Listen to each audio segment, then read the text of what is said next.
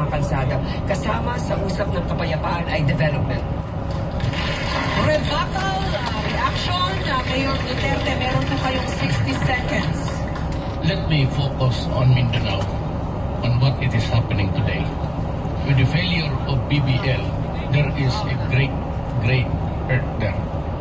Unless, I said, we can come up with another card, which is federalism, nothing, nothing at all can appease Mindanao. Yan ang nangyari dyan.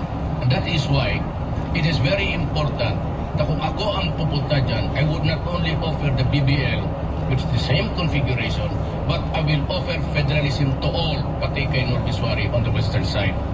That would maybe appease everybody because every moro politico would really like to see federalism kasi papalpak na ang BBL.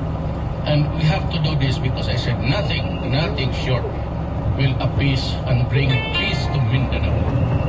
Yan ang importante sa lahat yan. You have to right the historical wrong committed against the Moro people. Counter rebuttal, reaction, Senadora Crispo, ano po ang inyong tugon?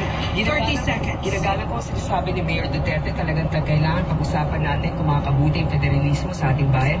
Ang pinakamalapit na example ng federalismo ay ang ARP. Ngayon,